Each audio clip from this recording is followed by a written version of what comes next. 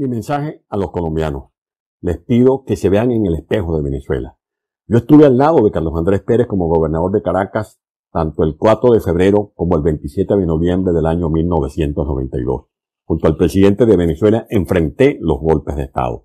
Y estuve con él en Miraflores el 20 de mayo de 1993, cuando se produjo el linchamiento del Tribunal Supremo de Justicia de Venezuela y recuerdo que me dijo, no lo lamento por mí, lo que me da pesar es lo que viene por Venezuela.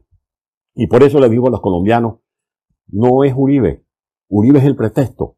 El presidente Uribe es simplemente la cabeza que están sacrificando, pero la presa que están buscando esta alianza del Foro de Sao Paulo, que es el que está linchando al presidente Uribe, es cargarse la democracia de Colombia. Esa democracia que defendió el presidente Pastrana con el Plan Colombia, esa democracia por la que se entregó en cuerpo, alma y corazón el presidente Uribe. No le perdonan que haya derrotado la narcoguerrilla. No le perdonan que haya reducido los secuestros, los asesinatos, que haya puesto a crecer la economía colombiana, que haya bajado la inflación, que haya creado empleo, que le haya dado paz a los colombianos. Por eso, esta alianza del mal, que no pudo alcanzar el poder desde las guerrillas, ahora usa el poder financiero del tráfico, de los secuestros, de la violencia, de las movilizaciones callejeras bajo el disfraz del progresismo para tratar de liquidar las instituciones de Colombia. Presidente Duque,